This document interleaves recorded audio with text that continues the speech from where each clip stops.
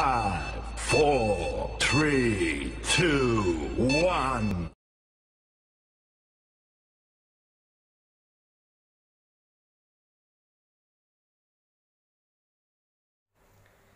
Shalom, halo anak-anak semuanya.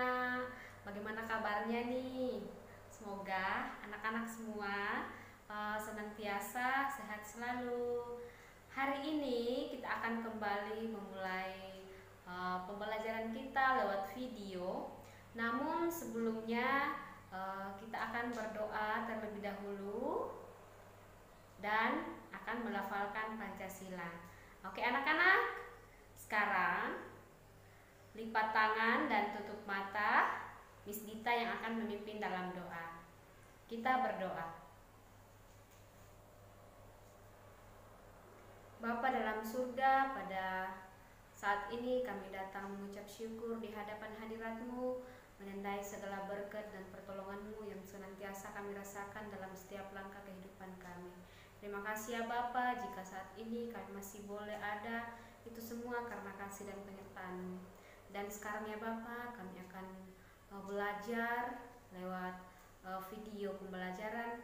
Tuntun kami ya Bapak, tuntun anak-anakmu sehingga kami boleh belajar dengan baik sesuai dengan kehendakmu.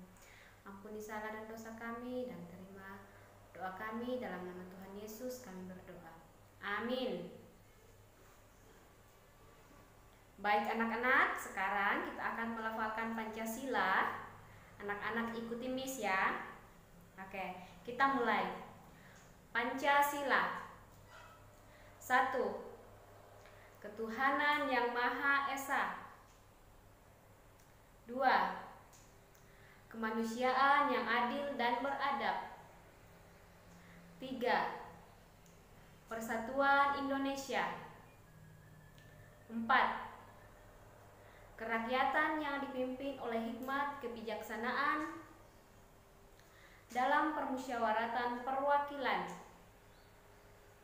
5. Keadilan sosial bagi seluruh rakyat Indonesia. Oke, sekarang um, kita akan memulai pelajaran kita. Sekarang anak-anak siapkan alat tulisnya. Hari ini uh, kita akan belajar tentang huruf vokal dan huruf konsonan. Apa itu huruf vokal dan apa itu huruf konsonan? Nah, silakan perhatikan penjelasan Miss berikut ini. Huruf vokal terdiri dari A, I, U E O. Kita sama-sama ya. A I U E O. Sekarang huruf konsonan B C D F G H J K L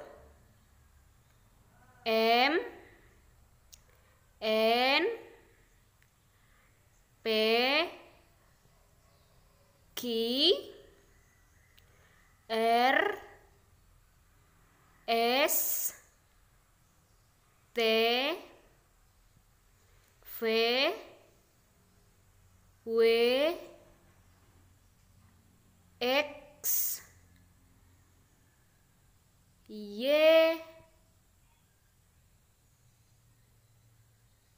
Z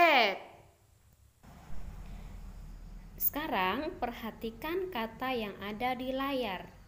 Ada huruf D, I, T, A. Ya, Dita. Huruf vokal terdiri dari I dan A. Sedangkan huruf konsonannya yaitu D dan T. Sekarang perhatikan lagi kata yang ada di layar. Ada huruf M, A, R, I. Mari. Nah, sekarang anak-anak yang manakah huruf vokal dan yang mana huruf konsonan? Silakan dikerjakan ya.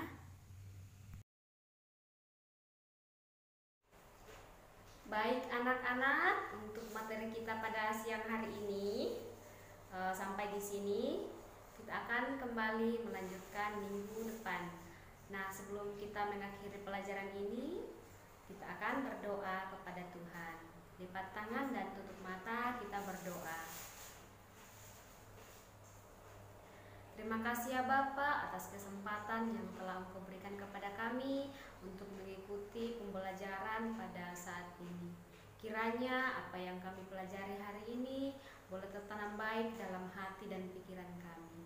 Bapa dalam surga, ampuni salah dan dosa kami dan terimalah doa kami dalam nama Tuhan Yesus kami berdoa. Amin. Oke anak-anak, sampai jumpa kembali minggu depan. Tetap semangat, jaga kesehatan. Bye, see you next week.